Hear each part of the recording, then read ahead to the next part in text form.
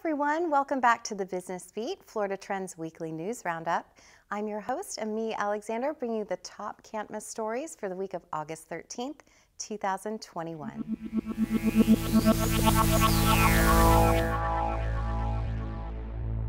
According to an analysis of state level data by El Nuevo Herald, the Delta variant has caused the worst hike in COVID 19 infections since the pandemic began last March.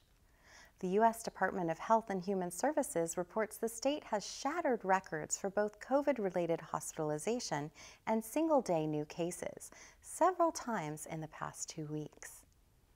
Florida stands to receive over $16 billion in infrastructure related projects as the Bipartisan Infrastructure Investment and Jobs Act moves closer to becoming law.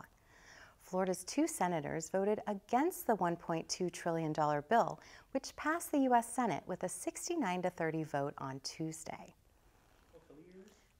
The Florida Department of Economic Opportunity reported accommodations jobs were down 40% last year, but hoteliers say the labor shortage may be easing.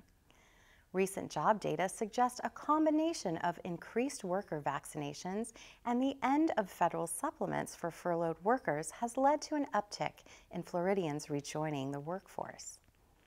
As COVID rates surge, more businesses are requiring employee vaccination. Currently, federal law allows employers to mandate vaccination as a condition of employment, though accommodations must be made for those with a disability, medical issue, or religious objection. The ongoing conflict between state law and businesses' rights could be moving to a bigger battlefield as the Florida versus Norwegian cruise line fight heads to appeals court. If the district court's ruling is upheld, it may set the stage for more companies to require proof of vaccination before rendering service. And that's your beat for the week of August 13th. We'll see you back next week.